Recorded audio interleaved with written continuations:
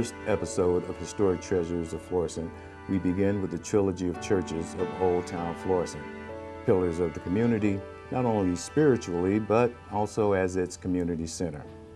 Oh, the church was the community. No two ways about it. Um, the, uh, the Jesuits and um, religious of the Sacred Heart, they opened the schools. They were just the moving, moving force.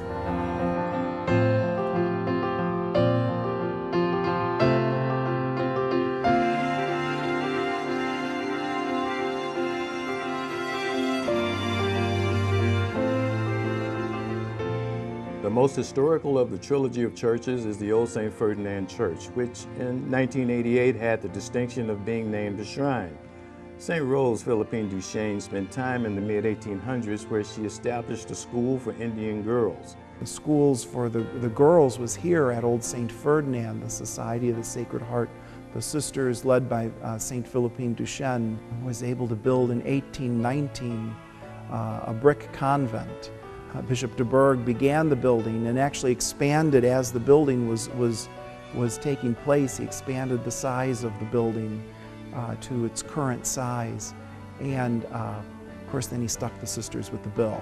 Uh, but they, uh, uh, they struggled tremendously under that debt and also through all the hardships of living at the very edge of, of Western civilization.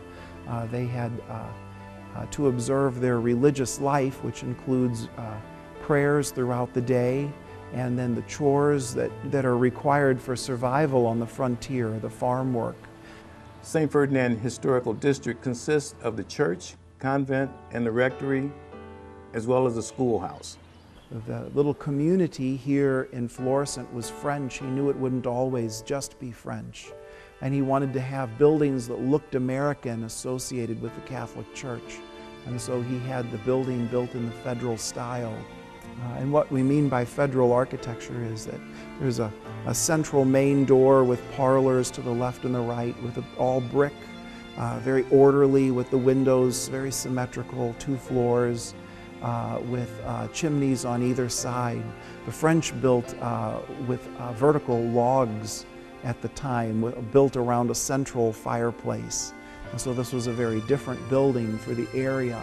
I'm very um, attached to this place, Old St. Ferdinand Shrine, this whole complex of buildings, because it really is um, the place of a part of our history in this country as a religious order. And then in, in the 1880s, the um, church was elongated. You can see in the ceiling where the boards change a size. That's how long the 1821 church was. And the front, um, the facade and the bell tower were added at that time. And the whole interior was renovated to this present Gothic revival style. The 1821 church was very simple. You'll notice on the altar that there's three major saints, and that's because, well, three major statues. Uh, the Sacred Heart of Jesus, St. Ferdinand and St. John Francis Regis. And that's because the original dedication, of course, was to St. Ferdinand, uh, king, the King of Castile in the 13th century. And um, that, of course, dates from the Spanish uh, occupation of the country here. But everything in the church today is, uh, except for two things, uh, date from the 1880s renovation. The pews, the altar, um, the stained glass windows all date from the 1880s, but the two things that date from the 1821 church are the baptismal font and the confessional in the back. In 1957, a new St. Ferdinand Church was built miles away, and the Archdiocese of St. Louis began talks of tearing it down. But in 1958, a group was formed to save the complex the Friends of Old St. Ferdinand was presented with a deed to the property for $1. There was a fire in the, actually started in the uh, attic of the rectory and got into the church before it was discovered. Um, and so that was had to be kind of renovated again. In 1988, the Catholic Church canonized Mother Duchesne as the fourth saint in the United States. The church is the oldest standing church in all of the Louisiana Purchase territory and is thought to be the oldest Catholic church between the Mississippi River and the Rockies. The bicentennial of Mother Duchesne's arrival uh, to the United States will be in 2018 and the arrival here in Florissant will be in 2019. And the grounds we're trying to uh, restore to its appearance in 1880 uh, so that when someone comes here, they can see something very similar to uh, what was uh, its configuration at that period in time. And the reason why we chose 1880 for the, the overall grounds and the interior of the church is because that's the, the, the year that it was completed and uh, everything that is here now can be pretty much restored to its appearance. And so we're working very hard to get the facilities to appear as they were in, in times past so that as there's increased interest in the life of the saint uh, and the work that she really began and continues today in so many ways uh, through the Archdiocese of St. Louis and education in the St. Louis area.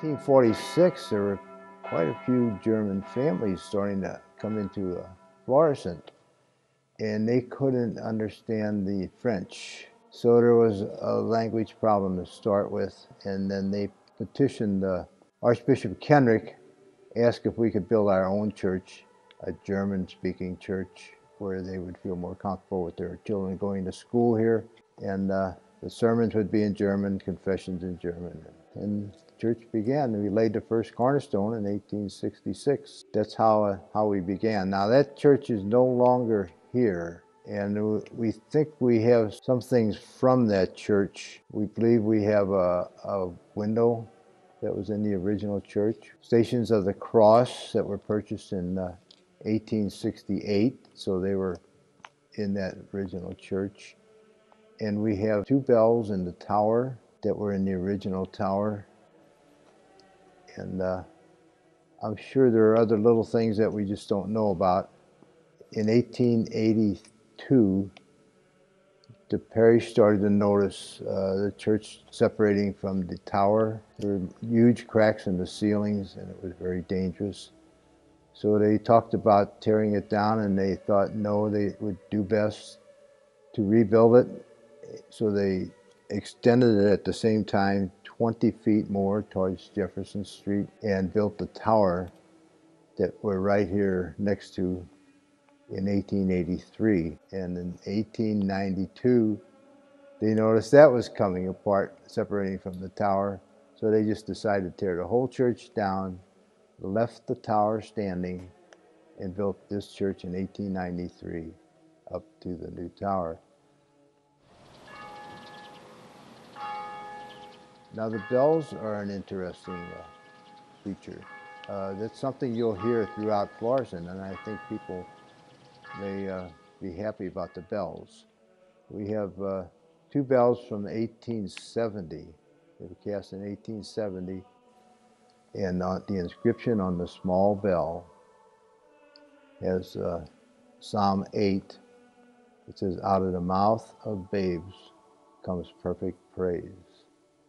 And on these, the larger bell, which weighs 1,500 pounds, is the one we named after John, John Berkemeyer. It's uh, called John the Evangelist bell. And we use that for our calling bell.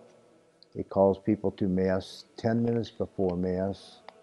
And the inscription on that bell is in Latin, of course.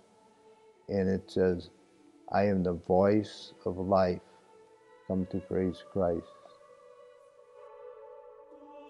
Well, the windows kind of show a, a history of our church. As you can see, uh, the lion is a symbol of Bishop Kenrick, who was a bishop at the time the church began. The little rosette windows, those were in the confessionals, and uh, it was it was good to have some kind of a window that you could see in the evening. If a priest was hearing confession, he'd have a little dim light on. If that window was kind of lit up, you knew you could go to confession. you can imagine and maybe try to visualize the old church. Can you imagine uh, that would have been, I, I believe we received electricity like in 1913. Part of the reason they, they wanted this the parish was for the German speaking, and the school was very uh, uh, strongly uh, emphasized. The school building was the first building completed. We had two classrooms of, uh, of girls where the sisters taught, and one classroom for boys, which a man teacher taught. And uh, it all began with the school. The convent, what is no longer being used, that was the original school. And in 1872, they had to expand that school and they built another small building, which is no longer here. And then in 1889, they really expanded and built the school here on the corner of St. Denis and Jefferson Street. Now that, that cornerstone on that school says Herz Jesu Schule, which is German, whereas the cornerstone on the church uh, is in Latin.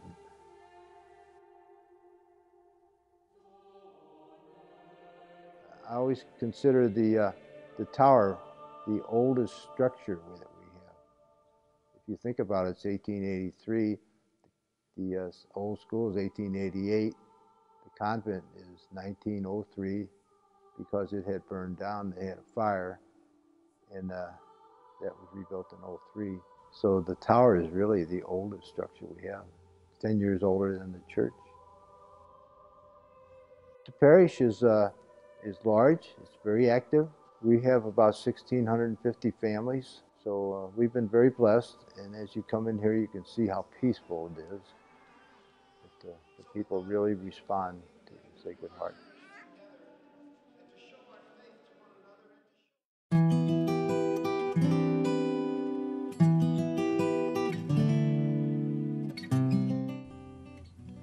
Catholic faith was so influential in the foundation of the village that when non-Catholics moved in, they didn't have a church or social home, thus laying the plans for a non-denominational church. The two churches got together because this was all Catholic community. And when non, uh, non-Catholics were moving out from different religions, the two churches got together because they needed a meeting place.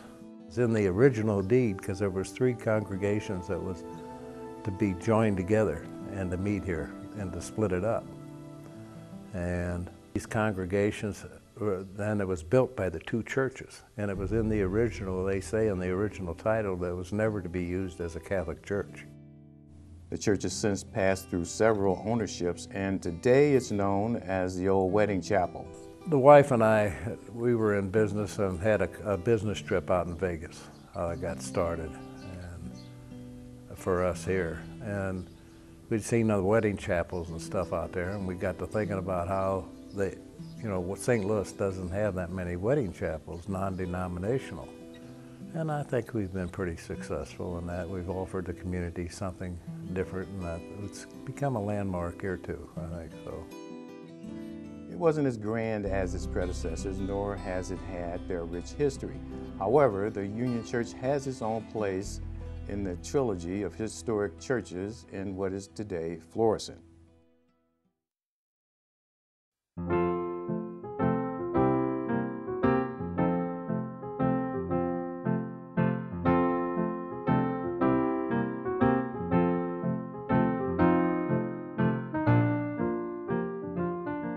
Building is, it's, it's part of my family. So many memories. This building was built 1873 by Henry Bockrath. A man by the name of William Marine bought the property and the building from Bockrath in 1874. We have this history of this building because of that. And the Marine family lived in here and ran the business. And this building was built in three sections. The original section was this small section to the back.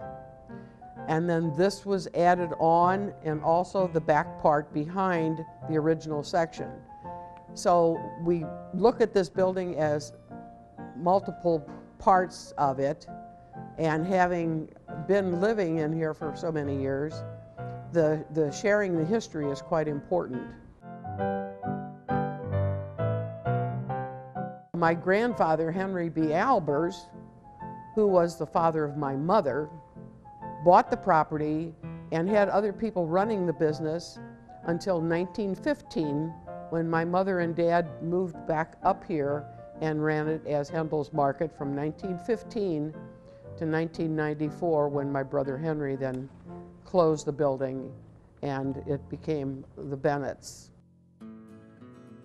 We had um, the animals, we had cows in my early days, till probably about the early 40s when we got rid of the cows on the property and when we would have um, a calf being born, that calf would be butchered and sold in the store as meat.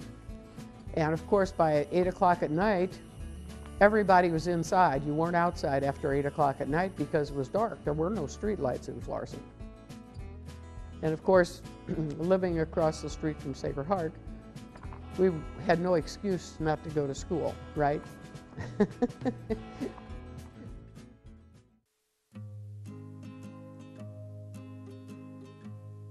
The history of the property has been uh, preserved through different renovations here at Hendel's. All of the Hendel family was born and raised upstairs. Um, there's different bedrooms up there. Um, right now it is a rental property, um, but we have had great success at preserving Hendel's and keeping it very historic for Old Town. Hendel's Market was popular um, throughout the 1900s for its meat market along with grocery store. They used to deliver the goods and groceries to residents around the area. It was very popular. People used to have house accounts here and um, they loved the fact that they could have their groceries delivered to their doors.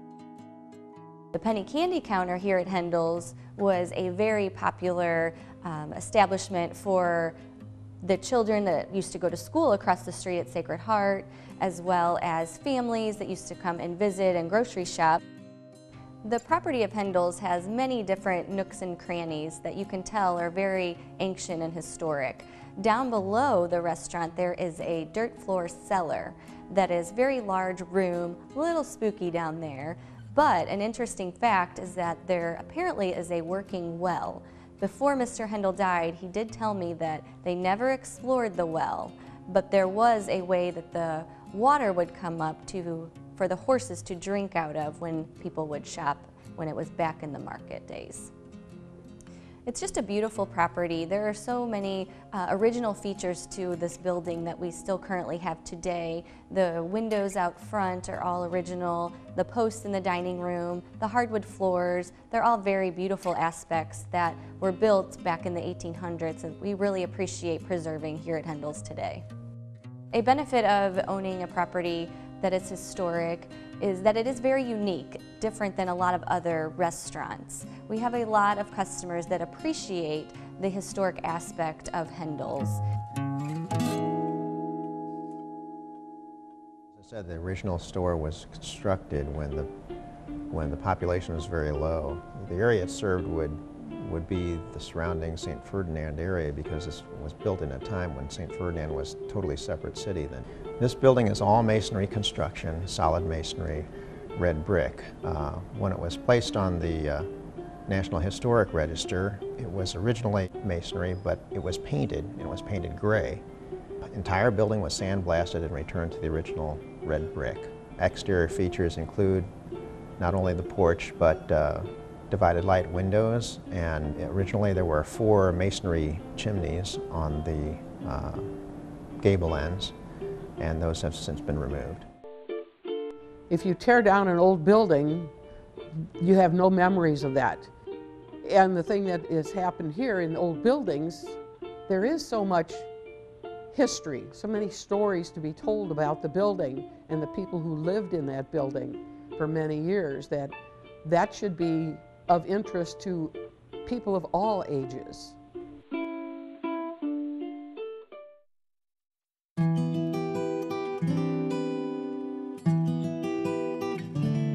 Okay, my mom and dad opened Dooley's Florist and Gifts Flower Shop in 1966. Um, my dad wanted to have a business um, in which he owned the building. Um, I think for years, about 10 years prior to that, it had been going through several different owners um, or businesses in, in this building. And um, so they did, they started the flower shop, and in 1972, he was able to purchase the building. When my husband and I, after we were married and, and had our first child, um, were living here, we decided that it would be a better benefit to own the building and raise our family and have the flower shop down below. Uh, the building was built in early 1880s. Uh, the previous owners that are on file anyway is uh, the Wehop family. Stephen Wehop purchased the building in the 1880s from a Mr. Schneider. Then his son John Wehop uh, lived here with his family. The ice house uh, behind the building here was built in the 1890s and it stored ice from the river. Boulders that are the base of the structure are like uh, two and a half feet thick. So it's very cold down there. It stayed cold even in the summertime. We have um, people that come in wanting to purchase flowers and, you know, looking for something for their homes. So they like to come in and see the shop. But they, when they do come in, they really uh, appreciate the tin ceiling in the building here. It's original tin ceiling and it's just in great shape. The first thing that you notice when you come into the building is uh, probably one of the finest examples of tin ceilings around that you would ever find. In a lot of buildings you can't see a tin ceiling that's, that's uh, in its complete form in its original installation. Um, and we've got uh, two different types in this, in this building. One uh, in the main store uh, where the ceiling panels are about two by two. And then there's another different panelized tin ceiling in the back staircase. Another interesting feature is the cooler that my dad uh, took apart and moved here from a small business in Illinois in the 60s. He put it back together and we put our fresh flowers and greens in it. And it's a central part to the flower shop actually. So it's right here in the middle and people always comment on, oh, that's a really neat cooler. and it, it's, it just adds to the charm, I think, of, of the shop. Uh, the building was built around 1880. Um, it was originally built as a kind of a western storefront frame building. It's also the only iron storefront in the city of Florissant, cast iron storefront. The structure is interesting too, is that part of the structure is iron. Main central beam that's cast iron. And then we have classical columns that are also cast iron. Um, so pieces and parts in the enhancement were uh, all shipped to the area and then uh, uh, erected in a traditional manner. But uh, it's, a, it's a very interesting building because it's the only iron building in, in Old Town.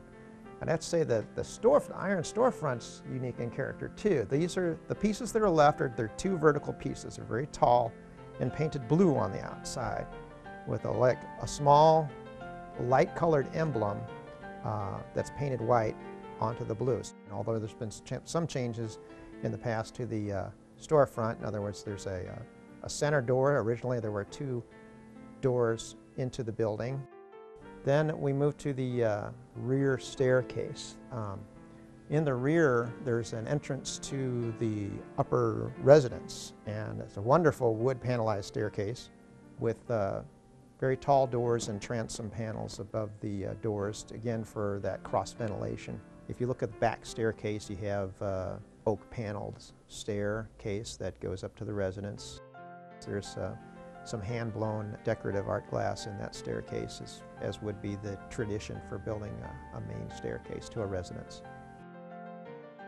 Oh, what I enjoy most about owning uh, a historic property is I love the character of an old building, um, the woodwork, the windows, the high ceilings, Um, I just I just find it very interesting.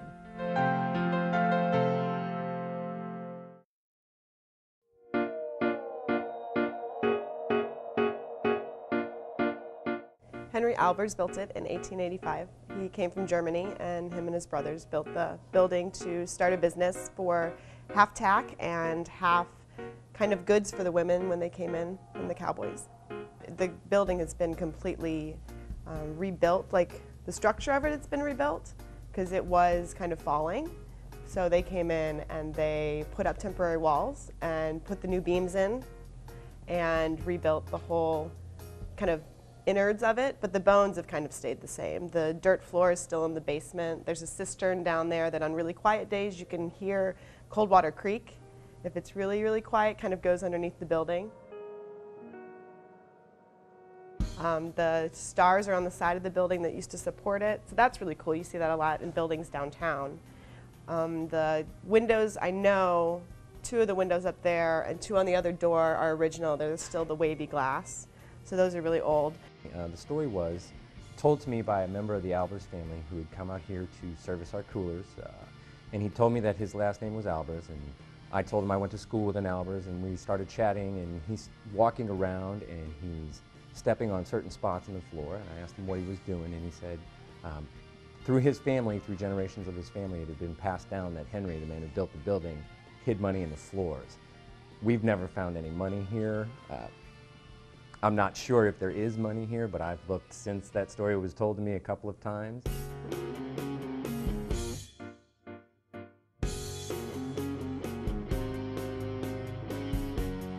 Being in Old Town, I think it's good. It keeps the area alive.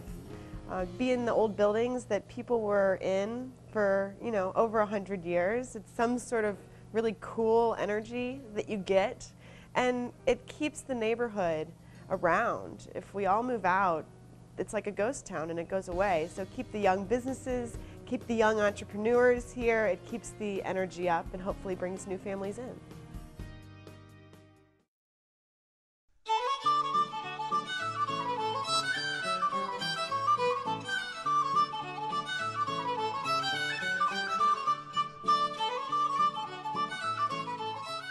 Historic nature of this building, though, is the original tie to John Mullanphy. It's the only building in St. Louis County that has a tie to John Mullanphy. John Mullanphy came to St. Louis in 1804 and acquired this property in 1805. It started out as two rooms at, at, in a log cabin with a dog trot in the middle and has grown into a 22 room home and gave it to his daughter as a gift around 1817 when she was married. So that is when really a family started living here.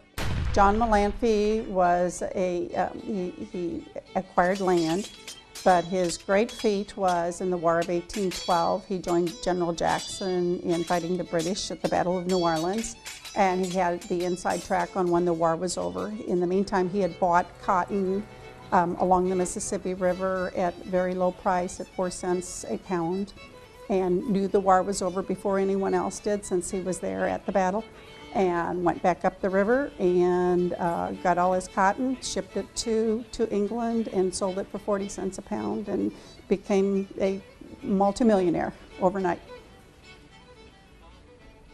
The original Spanish land grant was about 340 acres. And the school district, Ferguson Florissant School District, was expanding at the time, and they wanted to acquire it, and they were going to tear down this building. The property had been a farm land and run as a farm for 140 years, and that's when the uh, R2 School District uh, made an offer for 20 of the acres. And then finally in 1960, when the construction of McCluer High School, uh, they needed to relocate the house. And that's why the relocation was uh, completed and, and the fundraiser was conducted. And so a group of people got together and worked with the school district to preserve it. Now in 1960, the uh, uh, Florissant Valley Historical Society were able to raise $10,000 at that time to relocate the structure. But at that time, this building, this Taille de Noyer, was facing what is now Highway 270, where the gym is today at, of McCluer High School.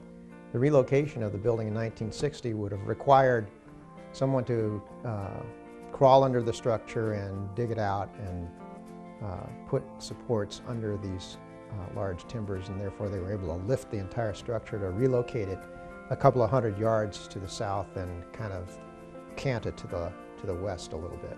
By 1960, it became the property of the Florissant Valley Historical Society. It's interesting to note that if you come onto the front porch, it's, uh, which I would call the west porch, it looks as if the front door is right in the center of the porch, but that's actually the entrance to what would have been the dog trot area between the two log cabins. So as you walk up the center, center rails between the uh, columns, uh, that's the dog trot area, and then you have a log structure to your left and right. The public entrance is uh, on one of the later additions, I think in the 1830s, south addition, and uh, that's also framed. The French influence had the long gabled roofs that protected the additions. The orientation of the building is uh, very important in the French architecture with the deep porches. They're often oriented west and south to protect from the sun and to bring in the uh, uh, cross breeze uh, from the prevailing winds from the southwest. The interior were originally finished off with plaster and lath over the log structures and you can see an example of that in the space. They have uh, uncovered some of it and left it intact so, uh, people will know what old-time construction was about. Later additions were upstairs, second story. There's a, a, long room that was divided into two bedrooms and a bath between them. Some of the comments that um, I've heard is how big it is and it has 22 rooms and it has been, it was continuously built on um, to accommodate the large family that lived here. And so people are astounded at how big it is. It is kind of out of the way, so you don't see it immediately unless you come up eh, onto the school grounds. The furnishings reflect all of the years that this house was occupied for almost, for way over 150 years. So that's, that's kind of amazing, I think. The area is very, is very generous. And to be able to preserve a building like this and to still have so many people take pride in its upkeep um, is very rewarding. I love history, and we have a great amount of history in this small area of Florissant. I didn't know it was here through growing up. I, I grew up in St. Charles County, and I didn't know this home existed. So once it was acquired by the Florissant Historical Society, it opened to the public eventually, and my, as a younger woman, my mother and I came to, to tour the house. So that's when I, you know, got a little sense of pride and, and just I'm so happy that it was preserved for, for my children and grandchildren and for everyone in, in our area to, to see what life was like.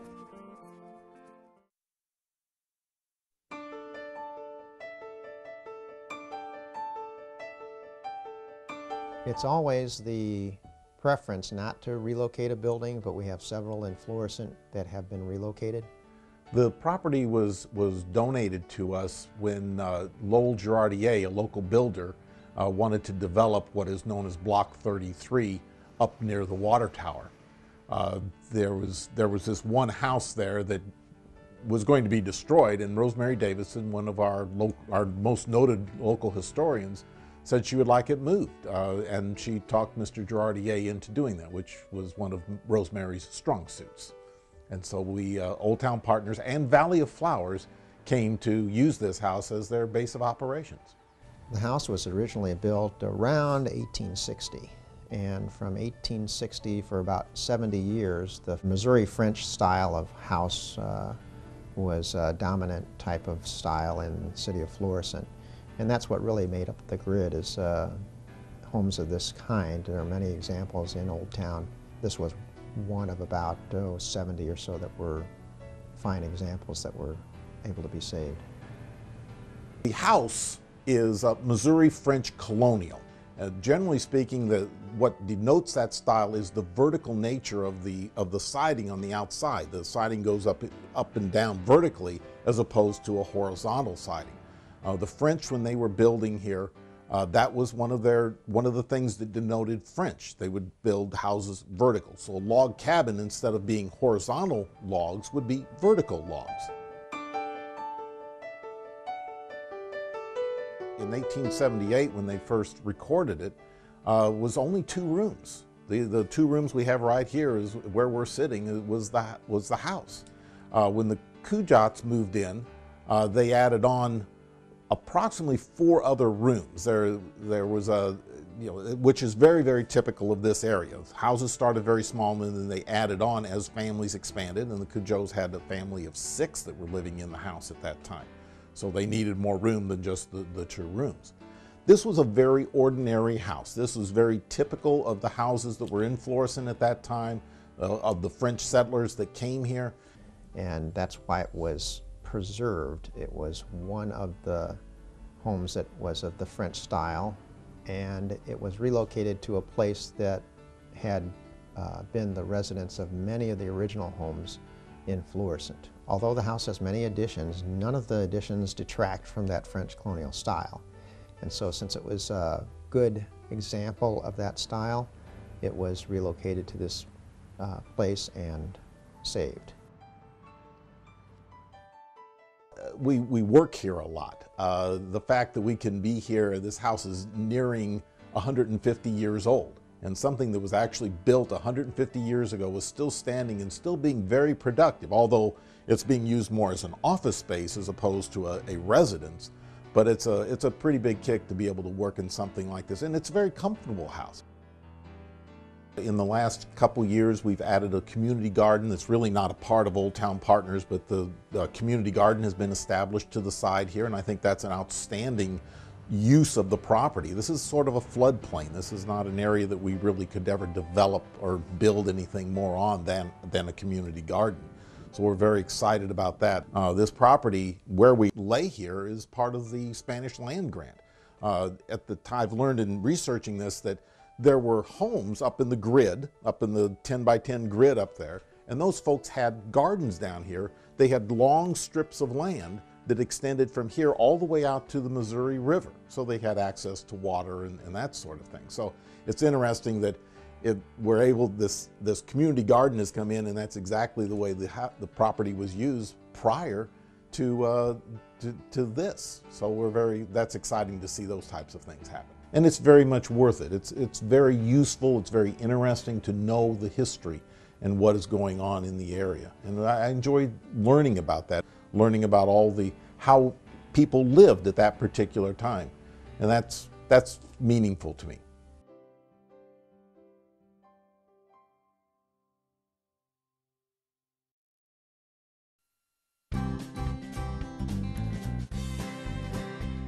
The property was built in 1878 by a company called Fruin Construction Company. It was built as the last depot of the narrow gauge railroad. The railroad ran from Olive and Grand downtown, 16 miles, and the final destination stop was Florissant. The building originally sat at the intersection of St. Ferdinand and St. Catherine Streets.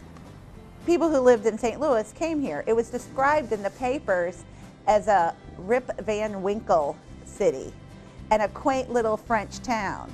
Because even though we were only 16 miles from the heart of the city, back before automobile traffic, 16 miles was a long way. So we were really separated and segregated from the city.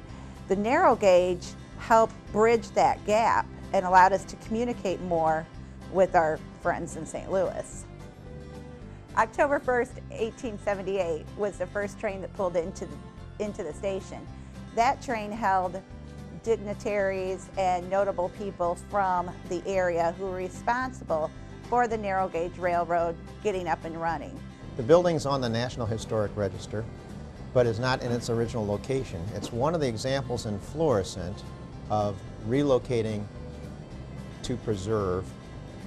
Its significance is really tied to the exterior materials and the train station vernacular architecture that it uh, is constructed from. The exterior elements that are notable on the outside are its board and batten vertical siding. And the unique part of it is that the northwest corner of the roof is cropped off or trimmed because of its original location. Its original location as a station was on a circular turnaround for the narrow gauge railroad. And the corner overhang would have interfered with the train, so the building roof was uh, trimmed in order to allow the train to make its circle. The building was originally yellow ochre uh, color paint on the outside, but it has, uh, after its restoration, uh, it was uh, painted fluorescent red. Joe Shark, a local businessman, agreed to allow it temporarily to be moved to his property, which was right by Fountain Creek, butting up to Fountain Creek by the bridge going over to Old St. Ferdinand Shrine. It sat there temporarily until the city had a place for it. It was a dilapidated, old, falling down building, and they didn't want to wake up in the morning, look out their front door and see it. So it was it found its place here. It moved up the street here to property that was owned by the city of Florissant.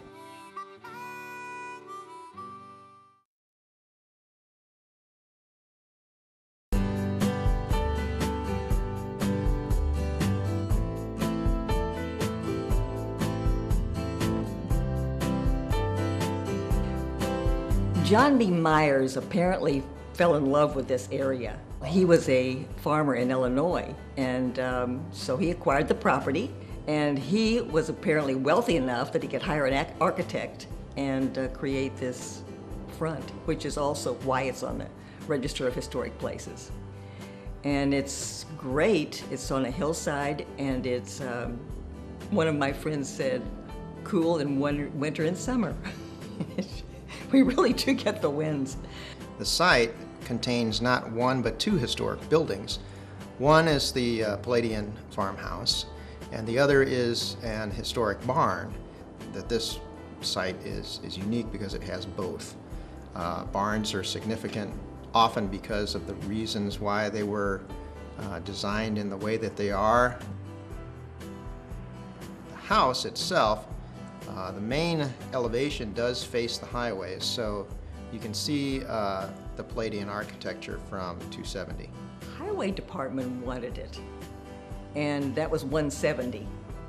They wanted to put a butterfly exchange here, which would have undermined the basement, hurt the architectural area of the whole house. So uh, Historic Florissant informed and uh, get the community behind it. Historic Florissant's role was nothing short of heroic to save this building.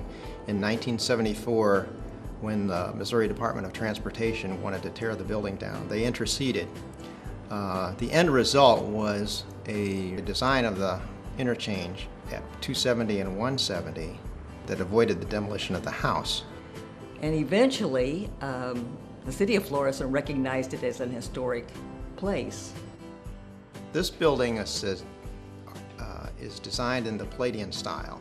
It was really based on symmetry and the use of classical and Greek uh, revival elements. This is a very fine example. Uh, it has the classical columns in front and its, in its two-story porch and uh, it's very striking uh, in appearance from the, from the south. The porches do have uh, uh, the classical columns and trim at the top. The columns are in perfect symmetry. Younger people don't know what the transoms are. And they're the little windows at the top of the doorways that open up and allow air circulation. If you shut your door for privacy, then you have at least that little tiny air at the top coming through. The other is the millwork because you don't see mill work like this done anymore.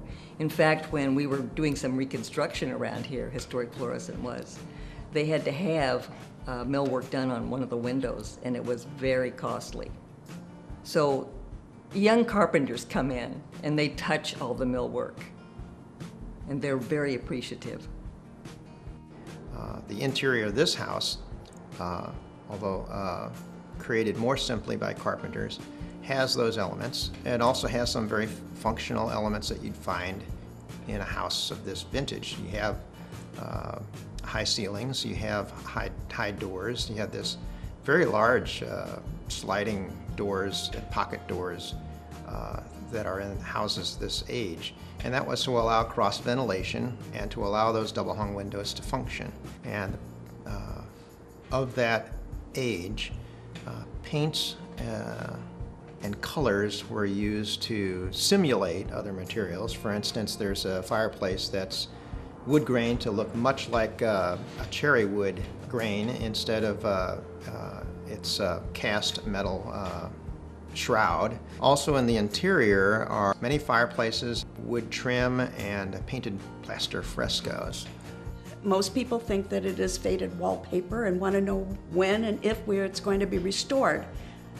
Most don't understand how that was created. It is painted into wet plaster and is originated by Italian artisans. It's quite an evolved process, but when you stop and think about the ceilings that are painted, those people had to be painting on in a horizontal position, you know, on scaffolding, because it has to be painted into wet plaster. The ones on the stairway depict uh, mirrors and are frames. There is one in the very head of the stairway that's a vase of flowers, and there's a bluebird flying on top. And that's a cool, cool piece. And then there's the one in the bedroom, um, which is just beautiful flowers. To restore it is almost cost prohibitive in this day and age, especially in a house of this sort. You can see the impact that preservation has on a place and a time. 25 years later, when the area grew even more, they had to revise the highway for traffic flow and make the on and off ramps completely different, all really affected by this landmark property that's on the National Register.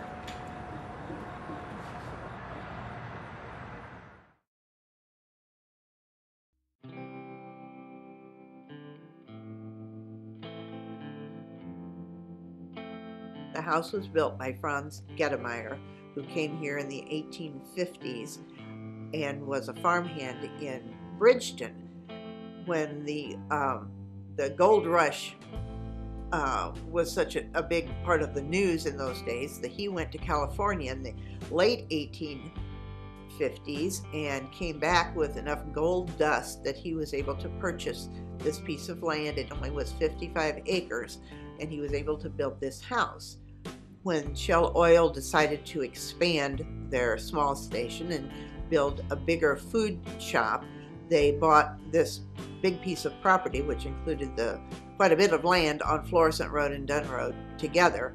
And uh, their intention was to tear down the house and build their food shop and put in a much larger car wash area. And that's when people were could see the house finally as they were taking down trees. They could see that there was a house in here and really didn't want to see the house torn down. The only change to the outside of the property that I am aware of is the change of address. This house faced uh, Florissant Road, and there was a long driveway that came up from Florissant Road all the way up to the house. Uh, the back of the house is what people think of as the front of the house now because you see that so prominently when you go down the highway. And then, the little, of course, the little parking lot was not there. There were several little outbuildings that had to go. So the old address was 1478 Florissant Road, I believe, and now it is 1167 Dunn Road. We use the other side as our address. Inside, after Historic Florissant acquired the house and began the restoration in here, there were some changes that had to be made in order to have it open to the public. The stairway used to be right inside the front door on the Florissant Road side, and you would walk in there, and it was a narrow little hallway, and the stairs went straight up from there, and they were kind of rickety and very narrow, and you couldn't have a, have the house open to the public here. And I believe they have sacrificed uh, one room on each floor for that stairway, but most everything else is pretty original to the 1860 house. The Gettemeyer family is a very large family. Franz and uh, Gertrude had 10 children. A lot of them were boys and carried on the Gettemeyer name. And so that is a very big family. And we get members from that family come here quite often just wanting to see the house that their great great grandfather built. And we have quite a bit of information, of course, in our archives on the Gettemeyers. We have a very large archive here and a lot of information in this house. There's a lot of things for people to see here when they come here. There is an enormous amount of information in this house, and I have not seen all of it yet. You find something different every time you walk down the, the hallway to the photographs on the wall, and the people that come to use the archives also bring their information with them. So we're always expanding that way.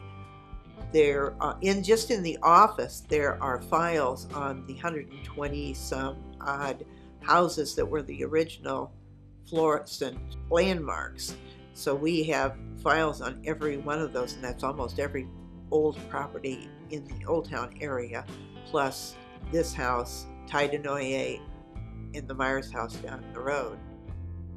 Gettemeyer House is arguably the most visible landmark in St. Louis County, or at least one of them, because of its elevation close to the highway and its proximity to Highway 270. It is literally seen by tens of thousands of people every single day in the St. Louis area. The east elevation has a doorway with 15 lights and two side transoms and a transom above. Uh, so let's talk about uh, historic glass for a moment because it, it, was really unusual for this building to be saved with most of its original glass. Uh, the characteristics of original glass this, of this vintage is uh, that it has a little bit of a wavy pattern to it. And that is really because most people don't really know that glass is a fluid. And part of its aging process, if it's uh, old enough and it's been around long enough, the panes of the glass will actually be thicker at the bottom than they will be at the top over time. Uh, the house interior is really marked by a large uh, cornice trim around all the upper floor ceilings and decorative picture rail. A picture rail was both decorative and functional. It allowed you to hang pictures from it and uh, uh, that's why the cornice is so large. Establishing Florissant required the sacrifice and determination of the founders of the city. And this is uh, an example of an existing farmhouse that really commanded hundreds of acres uh, before it was uh, finally saved again for this repurposing of uh, historic Florissant. And I find that I find that true with a lot of Florissant buildings. They're not architecturally unique, but they're unique because of what happened there.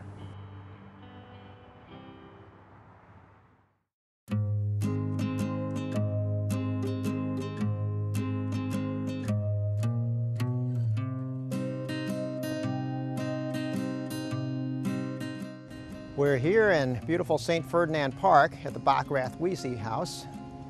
And a few people realize that the establishment of the park had something to do with another icon of Florissant, and that's Hendel's Market. And that's all due to a man named Henry Bockrath who purchased the property from the city of St. Ferdinand. In 1873, St. Ferdinand, the city, sold this property to Henry Bockrath for $348, including about 20 acres, and later acquired another 18 and a half acres, and that forms the core of St. Ferdinand Park. He later, in 1904, sold the farm to George Wiese, and he lived here and his family until the 1970s. Later, the Wiese family sold it to the city of Florissant in 1976, and that established both the uh, park and a covenant between the city and historic Florissant to preserve and maintain the house. Historic Florissant did own it and care for it for many years. And the rule was we had a caretaker who would live there. Usually it was a city employee, but sometimes not. And the only agreement was if the thing needs painting, we'll bring the paint and you do it and you keep it nice on the inside. And we want to be able to get in here for our house tour in the fall. The house has always been used as a single family residence and it's also a brick farmhouse architecture. The original south elevation has an entranceway which has a porch, was originally covered with a roof, a shed roof, and uh, is flanked by two arched windows, originally with the, and has the original uh, shutters. Had the original shutters.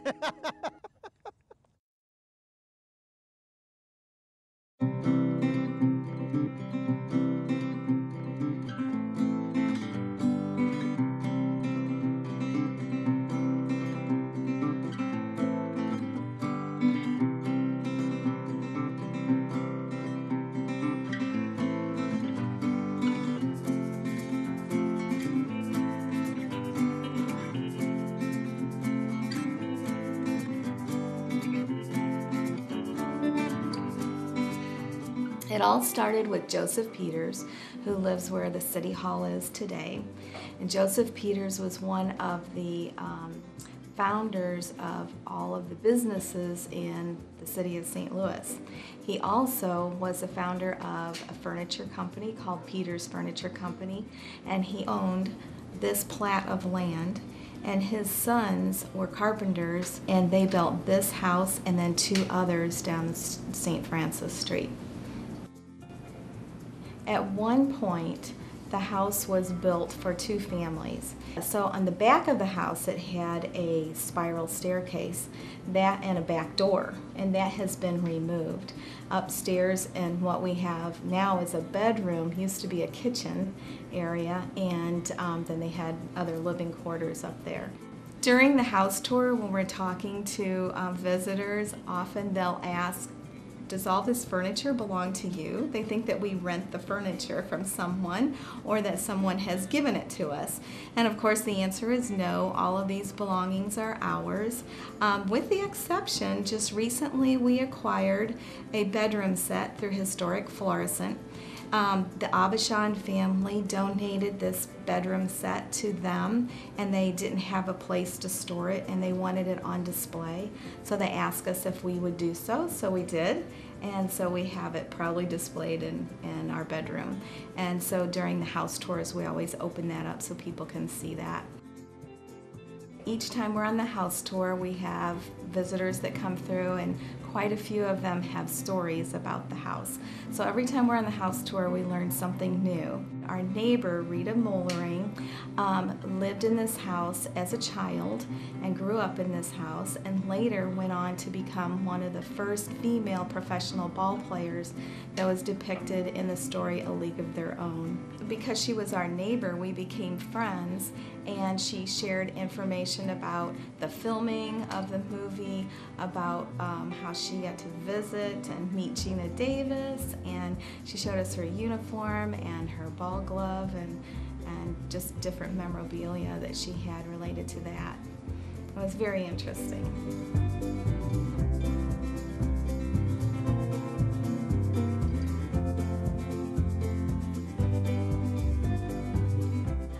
You may notice in the house that there's a lot of wardrobes, and that's because out of the eight rooms in the house, we only have two closets. One of the unique features of the house you can find in the kitchen, the cabinets are built in.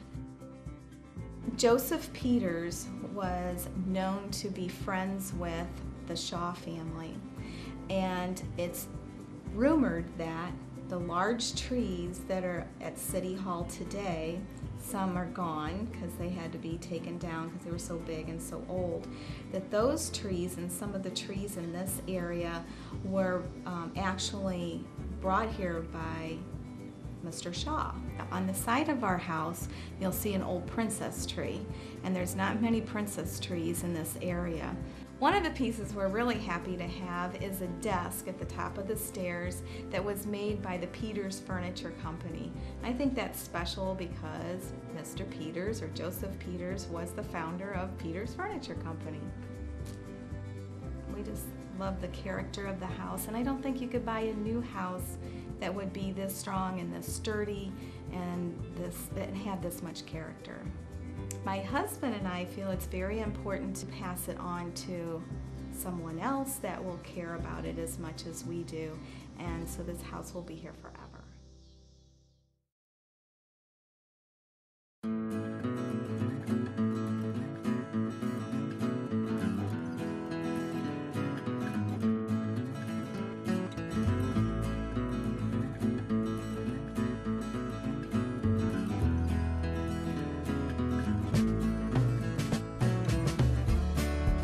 This house was built by George Kalima in 1887, and shortly thereafter, uh, Dr. John J. Millman um, purchased the home with his wife, um, Frances Goldbeck. Dr. Millman, he was one of the last um, doctors to do home visits in, um, in the area, and he died in 1937. And they lived here, and it was in their family until we purchased it in 1999. Was built during an era called the Victorian era. A lot of people make the mistake that Victorian is a style. Actually, Victorian has many different styles within it. Uh, Victorian era is an era of construction that around a little bit before 1840 till about 1910. And this building was built in about uh, 1897 maybe. And uh, that puts it right in it. The house was originally um, this room, the living room, and um, the bedroom. It was somewhat of an L shape, and they were a story and a half. Um, Dr. Millman added on this area, the kitchen, and um, his office um, to allow him to also provide services for the community um, here in, in his home. And so he had an office there with it has a separate entrance in the front, and um, so that was the addition. And I'm not sure the exact date, but I think somewhere in the 40s they added the indoor plumbing.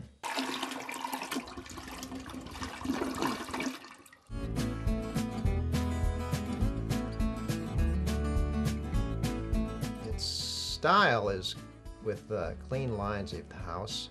It has uh, a porch with a balustrade, although you don't find the Queen Anne details, so I would almost call it a classical or federal style detailing because everything's straight line. The clapboard siding has smooth surfaces. There are no ornate brackets that uh, have been affixed to the building, and that's kind of how the Victorian era was. When we were tearing down the Surrey house, we were regrading some of the, the ground around the um, where it had been. We found um, some plastic bags with with items in it, like bottles and um, some medicine bottles, some perfume bottles. We found a bottle of fish oil. Um, it was pretty intricate detail on the bottle. An interesting thing, we were, we were digging to put a sidewalk in from our garage to the back door, and we found um, some bricks set in a row in a circle. And so we, we began to do a little bit of digging to try and figure out what that was, because it certainly looked like either a well or some type of, of um, enclosed opening or encased opening. So we, we dug out, there was, filled with gravel. So we dug out as far as we could. Um, I have a picture of my wife sitting in that hole with her feet as far, I mean, she was from here up, that's all you could see. And we, we never really figured out where it went, and it ran out of time, so we filled it back in and it's still out there waiting for someone to discover where it goes. The home itself is so unique. You look around the neighborhood, there's not another one like it anywhere that I've seen. That, that to me is, is a, a characteristic that I really appreciate. And um, I, like, I like having a home that, that no one else has a copy of. It's clean and simple, but it does have the elements that would make would uh, lend you to believe that the carpenter spent a lot of time on this building. This neighborhood, the Old Town neighborhood, is so quiet, um, it's peaceful, and you just you just can't beat the the atmosphere here. People walking um, walking their dogs and walking around the neighborhood, and it's it's just a pleasant and peaceful place to be. Um, but the, the character and, and the look of the home is, is really, I, I love it.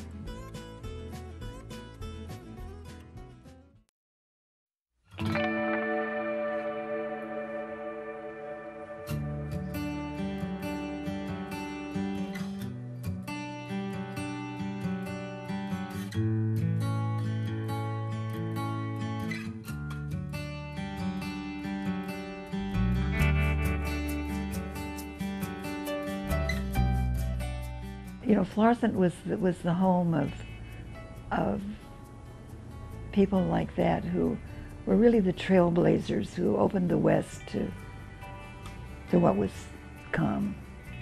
And sometimes we tend to forget what an important role the people here played in the history of the country.